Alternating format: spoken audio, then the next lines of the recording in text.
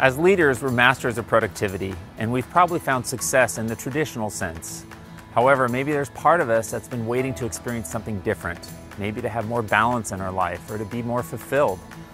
Perhaps we've gone through a transition in our life. We've sold our company, we've empty nested, and our kids are now launched into the world, and we're starting to think about what's next. These transitions are really ripe opportunities for us to grow and evolve as people.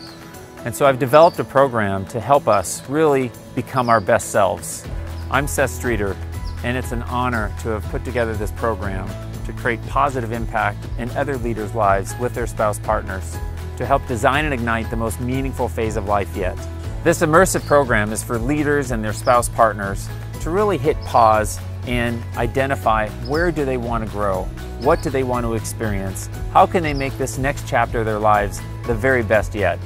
And so I've brought together world-class resources to help curate an incredibly impactful experience where we can grow and create incredible experiences of personal growth and connection and identification of purpose.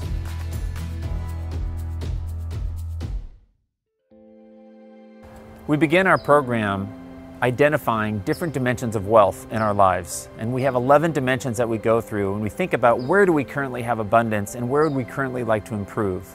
We consider our values and where our values might be misaligned in our current life choices. We think about our purpose and we start to identify an inspired life purpose that truly makes us excited to wake up every day and a purpose that's not just about our own experience, but about contributing to others and about the legacy that we'll be leaving down the road. We start the morning with an inspiring workout where we push beyond self-perceived limitations. We do breath holding, yoga, strength exercises. We then have a healthy breakfast, connect with peers, and we have incredible resources throughout the day. We listen to a classically trained pianist, and we use music as a metaphor for how we can bring more feeling and creativity into our lives. We do a visioning exercise where we imagine forward some of the elements that we want to invite into our lives.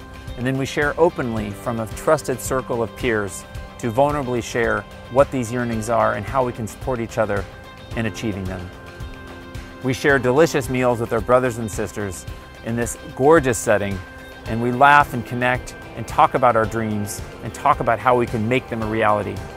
We enjoy a beautiful bonfire down at the beach, and we decide what we want to let go of, who we need to honor, who we want to help lift up, and what we want to ignite into our life. And we think about what purpose is worthy of our lives. Through our connection with our peers, we are able to be seen in ways perhaps that we haven't been seen before. And we are able to see ourselves also in a new light for how we might grow and emerge in this next chapter of our lives. As lifelong learners, we want to continually expand our perspectives. And this program that I've developed is designed to do exactly that. To support this journey, I've invited my friends who are world-class resources, starting with Dr. Elizabeth Lombardo, who helps us understand how to stay out of the red zone in our lives and keep emotional well-being internally while having resilience to deal with the external challenges in our lives, and how to improve relationships that matter most. I invite Nora Tobin, who's a health and wellness expert, who talks to us about stress and how we can improve the immune strength in our bodies, how we can improve our sleep, boost our energy to do what matters most in our lives.